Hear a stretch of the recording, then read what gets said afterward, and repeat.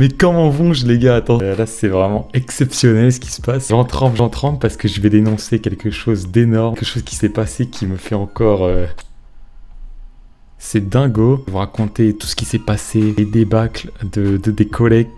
Et les collègues, euh, je vais vous dénoncer un peu là. Déjà, vous avez vu dans ma chanson que j'ai failli me faire virer. C'est pas ça que je vais vous raconter. C'est la semaine d'après ce qui s'est passé. Donc là, on est une semaine après le Leclerc. On est le lundi matin. Aux alentours de 7h, je commence à faire ma petite palette. Donc, comme d'habitude, jusqu'ici, tout se passe bien. Euh, normalement, les, produits sont dans les cartons. Et là, je commence à voir des choses. Je commence à voir des trucs en mode ça, c'est pas dans le carton. Ça, c'est à part. Donc, je retrouve du peg vaisselle à part comme ça, le gros tube à part. Je commence à trouver aussi, mais c'était surtout ça que je vais vous dire. Vous voyez les berlingots de, de Javel? Je commence à retrouver ça. Pas dans les cartons. J'ai tiens, c'est bizarre. Donc, là, je la magouille. J'étais tendu. J'étais tendax, c'est sur mes gardes avant une palette. Et le mardi, le mardi, je retrouve encore les, les trucs de Javel. Je dis, ça cloche, ça cloche quand même. J'en parle à Christelle, ma supérieure. On va pas l'appeler par son prénom, on va lui trouver un autre nom. On va l'appeler Véronique. Je vois, je lui parle de la Javel, du berlingot de Javel. Et là, commence à faire une tête. Elle commence à faire une tête blanche. Là, elle prend son téléphone de fonction, elle appelle le 36. Elle avait le numéro du 36 des quais des Orfèvres. Je fais bon, là, il se passe quelque chose quand même de mondial. C'était pas encore avant l'arrivée des clients, il était 8 heures. Et là, je vois trois mecs du raid et du GIGN qui sont héliportés, qui passent par le toit du Leclerc, qui arrivent au niveau du rayon droguerie. Ils sont, ils sont forts, les mecs, ils sont forts. Qui sont héliportés, là, je sais pas comment on appelle ça. Ils arrivent, ils posent pas de questions, non, non, non. Ils mettent le harnais et direct.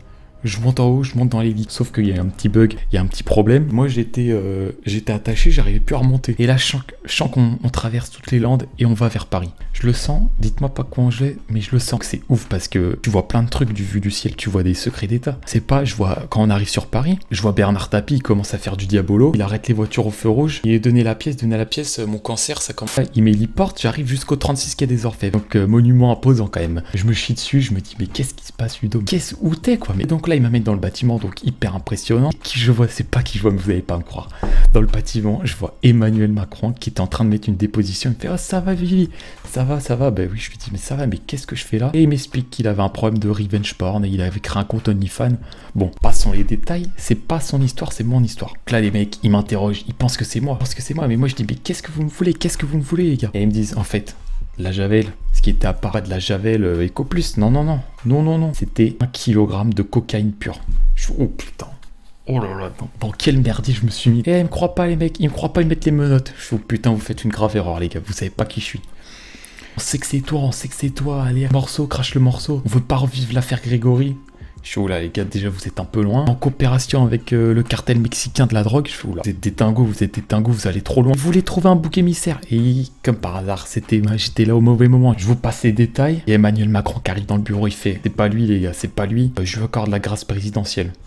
Je suis, oh putain. Vous auriez vu la gueule des policiers, ils étaient verts, les mecs. Ils y croyaient pas, ils se disent, putain, enculé, il nous a volé notre coup. Quelques 5 heures avant, j'étais au Leclerc en train de mettre mon paille. Là, je suis réliporté, il me réliporte, euh, il y a hélicoptère qui tourne au-dessus du tribunal. Donc, euh, je revois Bernard Tapie, et c'est pas qui je vois dans la forêt des Landes. Je vois Xavier Dupont de Ligonnès qui était en train de se faire courser par un keuf. J'hallucine, j'hallucine, et là je reviens, on revient avec les mecs du raid dans le Leclerc. Donc on repasse par l'entrepôt, je dis les gars, j'ai peut-être ma petite idée sur euh, le trafic que je vais vous démanteler, vous allez voir. Et à trois mecs du GG, je dis venez les gars, venez dans l'entrepôt, je vais vous montrer. Je chantais un truc, j'allais au bluff, hein. coup de poker. Vous voyez ces linge là Il faut ouais, l'obsolescence programmée et tout. Je fais non, non, non, non, non, ouvrez-le.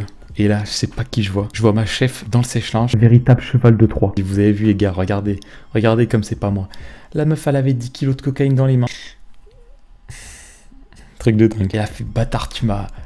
Tu m'as. Hein Manu après il m'a donné la, Légion d'honneur. Donc après je suis retourné travailler parce que j'ai pas pris le boulard, quand j'ai pas pris la grosse tête. Qu'en fait ma patronne c'était pas une patronne, c'était un agent infiltré. C'était euh, le chef du cartel de Cali. Donc après je suis retourné en Staps quoi et je suis retourné euh, comme un héros. Des fois on me reconnaît dans la rue. Je dis non calmez-vous les gars, calmez-vous. Je suis rien de tout ça. Tout le monde aurait fait comme moi. J'espère que ma story time vous aura plu. Elle est dingo, elle est dingo le loup mais c'est complètement fou ce qui s'est passé à Leclerc. J'en reviens pas, j'en reviens pas. J'en perds mes mots, man. Puis voilà, quoi. Salut les gars, yo tout le monde, c'est Squeezie. Yo tout le monde, c'est lui. Trop départ.